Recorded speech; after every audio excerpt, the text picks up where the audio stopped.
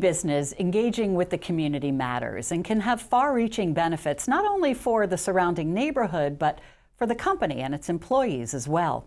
And joining us to talk more about that is Cynthia Cifuentes, Vice President of Brand, Communications, and Community Engagement for Kaiser Permanente. Great to have you. Thanks, Cynthia. Thank you so much, Deb. Um, what are some of the goals and, and benefits of engaging with the community, and why is it so important? As business leaders, it's definitely important because the more you give back and the more your workforce feels that they have an opportunity to give back, it's definitely a use in terms of how you can be a great retention tool. So it's important for employers to really offer that, especially coming from the pandemic, so that the employees can have the ability to make connections, be able to feel that they have meaning and purpose in what they do, and also how they can come together and team build and give back in their communities. Okay, I, I want to talk in depth about community involvement, but before sure. we do, why is it so relevant right now and why isn't it so important right now? It's very relevant, especially as we come off in the pandemic. And actually, I'll give you just an interesting article that's fresh off the press in New York Times that really shows all the interventions that really employers have made since we've come back um, from the pandemic, particularly around digital wellness solutions as well as um, resiliency training and coaching. And what they found is that the one notable um, investment that companies have made that really impact the mindfulness and well-being of an employer, or um, I should say of the workforce, is really volunteerism and community engagement and the ability to give back.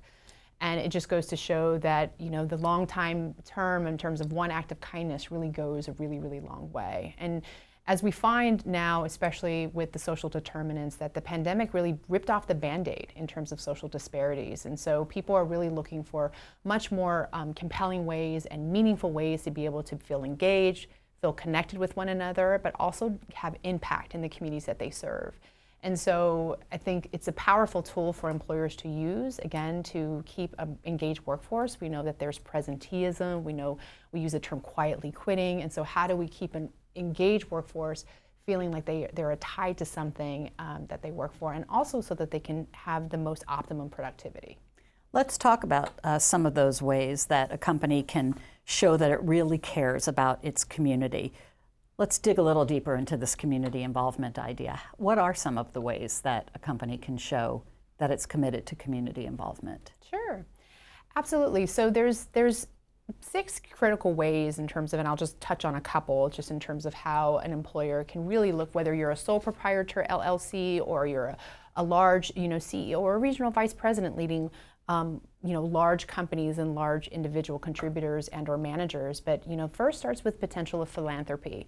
You know, finding ways that you can have charitable contributions or a match program within your uh, company is one way that you can definitely, you know, get involved.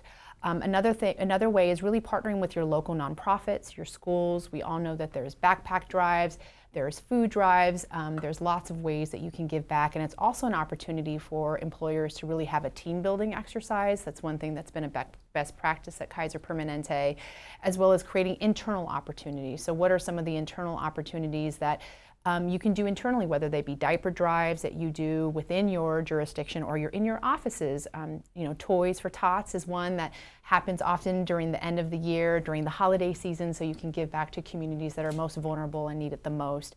And then lastly, but not least, um, really um, promoting good community health. And we have the saying in Kaiser Permanente that your health is really tied to your wealth.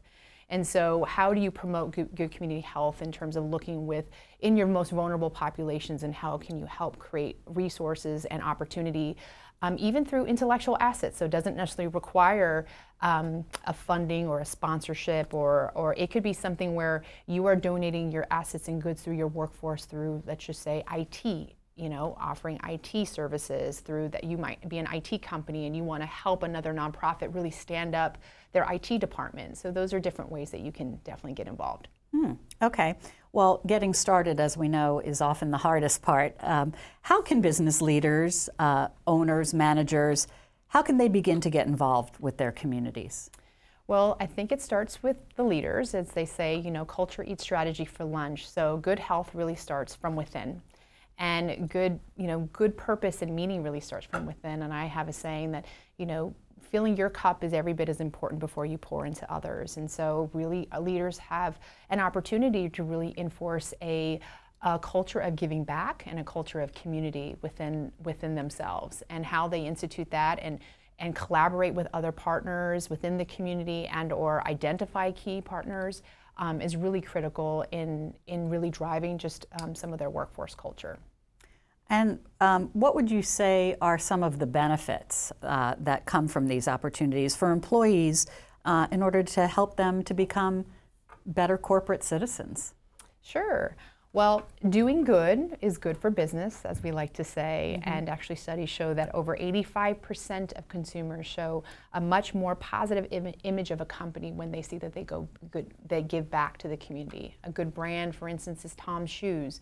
You know, that's one that really was became prolific from a brand perspective because they really had they were a shoe brand, but they actually gave back to the communities that they served. So that is one that really helps reinforce not only the brand and being a good steward, but actually a good corporate citizen and a good corporate steward within within society, which I think is very important as especially as businesses are looking to grow and grow their business in much more meaningful ways in their constituencies.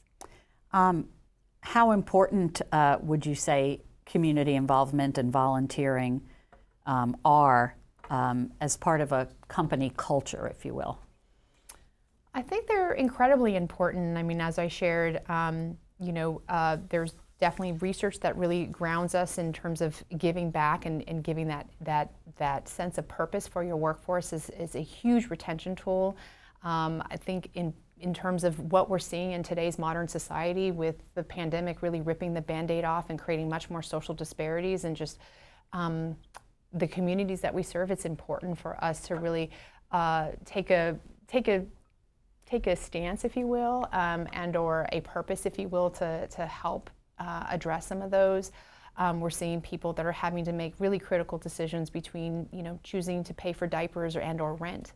Um, these are realities that um, the communities that we live in and exist in, and maybe some of our workforce are having to make every day. And so it's critically important that we just be mindful of that and everything that surrounds it. And um, I think people not only around you will appreciate it in the communities, but also the workforce as well. Yeah. Um, there are a lot of ways, obviously, to measure success, um, not all of them financial. Um, how does a company like Kaiser Permanente or even a much smaller organization demonstrate results? So I think there's a myriad of ways. I mean, there's definitely ways that we look within our HR metrics. Um, every organization usually looks at workforce engagement in a different way, um, usually through surveys and or um, feedback surveys in terms of seeing, you know, are their workforce, or do they feel really engaged? Do they feel that they have a um, a meaningful purpose, or are they valued at the table in terms of where they where they sit or where they lead? Um, and so I think those are definitely some oppor- key opportunities that employers definitely can use to kind of have a pulse. We call it actually pulse. We call it people pulse. And it's a survey that's used across industries in terms of how you measure the workforce engagement and how engaged people really are within your company. And so that's just one key example. Um, but surveys is, is really one critical example uh, in terms of uh, people, you know, feeling um, very uh, tied to their employer. Are those anonymous surveys or are they? They are anonymous. Yeah. Yes, they are. Okay. Yes, absolutely. Um, we're talking about, uh, you know, all of these great ideas and community involvement. Um, can you give us some examples of how um, Kaiser Permanente models community involvement? Is there uh, something you can tell us? Yeah. Absolutely. We have a robust volunteerism program that we have across our 10,000 employees that we stand up and we identify six signature events that we all can rally around. One would be, for instance, MLK Day, which is a day of service. So that is a day cel- celebrating not only Martin Luther King's legacy, but also celebrating what he really positioned as the day of service for all of us to really make this world a better place. So mm-hmm. that's one um, that we as an organization get behind. And so, what's really fascinating, if, if you can think about it, is across eight states, there's 250,000 employees all getting behind in terms of um, really contributing to uh, making the world a better, better place on MLK Day. So, that's one that we do. Another facet of volunteerism is board service. So, how, and we, meant, we talked a little bit about really leveraging your expertise and your intellectual asset. So, what does that look like? Well, you could sit on a board. and how can you sit on a board of a nonprofit organization that really um, is aligned with not only your organizational priorities but some of your own personal meaning and purpose so um, the arts for example for me is near and dear to my heart it, it's what i consider saved my life so i sit on the board of of an arts a nonprofit performing arts organization so those types of things are really important in terms of how you give back to the community but how you can also share some of your expertise that you do with your organization with the community at large where they can benefit Anything you want to add that we might have missed, or um, anything you want to go back to or expand Um, upon? I think if, if, if there's any notable thing that I could share, I think just really centering, um, you know, really centering your workforce really around employee engagement and community engagement has the potential is exponential. And, and if we all kind of geared ourselves around that, I think not only would the benefits of your workforce really be impacted, the community at large would be impacted. And that's something that Kaiser Permanente is fundamentally grounded on. It's part of our mission to not only provide quality care and better health outcomes to our members, but it's the communities we serve. And so I think there's something powerful in that. Um, and there's something really compelling if all organizations really grounded themselves in that in that regard.